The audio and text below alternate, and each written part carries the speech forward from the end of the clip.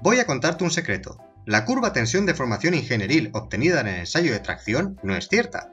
Para conocer realmente la relación entre tensiones y deformaciones, es necesario utilizar la curva verdadera. En este vídeo te explico en qué consiste este concepto y cómo calcularla. La curva tensión-deformación que normalmente estamos acostumbrados a estudiar es conocida como curva ingenieril, en el eje Y tenemos la tensión normal en el material, que se calcula dividiendo la fuerza registrada por la máquina durante el ensayo de tracción entre el área de la sección inicial de la probeta. El eje X representa la deformación producida, como cociente del incremento de longitud entre la longitud inicial de la probeta en la zona uniforme. Esta curva es muy útil para conocer si el material es dúctil, con capacidad de deformación, o frágil, y también permite identificar la zona elástica, donde la relación entre tensión y deformación es lineal y cuya deformación se recupera si cesa la aplicación de la carga, y la zona plástica, donde las deformaciones son permanentes. Os recuerdo que tenemos un vídeo previo sobre el funcionamiento del ensayo de tracción y todos estos conceptos que os invito a revisar. Sin embargo, aunque la curva ingenieril sea ampliamente utilizada, es únicamente una aproximación y no representa los valores de tensión y deformación que realmente se están produciendo. Esto es debido a que se calcula utilizando la sección inicial y la longitud inicial, pero durante el ensayo de tracción, tanto la sección como la longitud de la probeta están continuamente cambiando. Es fácil intuir que a mitad del ensayo, cuando la sección se ha reducido, la tensión verdadera será mayor que aquella que se calcula usando el área inicial. Para calcular la tensión verdadera en el material hay que dividir la fuerza entre el área instantánea de la probeta, es decir, el área en cada instante de tiempo. Esta sección es algo compleja de medir experimentalmente, pero por suerte es posible deducir la tensión verdadera matemáticamente.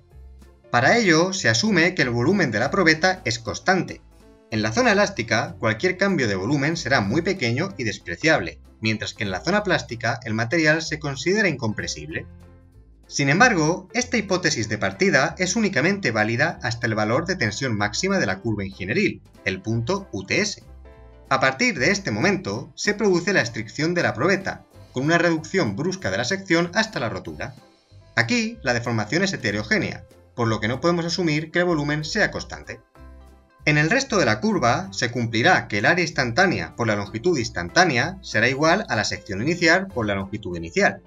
Así se obtiene una expresión de la tensión verdadera, aunque esta depende de la longitud en cada momento de tiempo. Si operamos con la expresión de la deformación ingenieril, es posible despejar el término L partido L sub 0, llegando a una ecuación que relaciona la tensión verdadera con la tensión y deformación ingenieriles.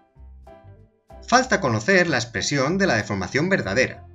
Esta representa la variación de longitud en cada instante con respecto a la longitud actual en ese momento, lo que nos lleva a pensar en el concepto de derivada. Para calcular la deformación verdadera, resolvemos la integral, que es un logaritmo, y nuevamente, con la expresión despejada para L partido L sub 0, se llega a una ecuación que permite obtener la deformación verdadera a partir de la deformación ingenieril. Como veis, a partir de los datos fuerza-desplazamiento medidos por la máquina de tracción, se calcula la curva tensión-deformación ingenieril, y a partir de ella, la curva verdadera. Podemos representar ahora ambas curvas, comprobando varias cosas. En primer lugar, las diferencias en la zona elástica son casi insignificantes, coincidiendo ambas curvas. Por este motivo, cuando diseñamos estructuras trabajando en la zona elástica, la curva ingenieril es válida sin cometer apenas error. Estas curvas difieren considerablemente en la zona plástica. Las tensiones verdaderas son mayores, mientras que las deformaciones verdaderas son menores. Por este motivo, la curva se desplaza hacia arriba e izquierda, siendo siempre creciente. Posiblemente os estaréis preguntando qué ocurre con la parte de la curva posterior a la aparición de la estricción. Como aquí no funcionan las expresiones matemáticas deducidas, únicamente es posible describirla extrapolando la curva verdadera hasta la rotura.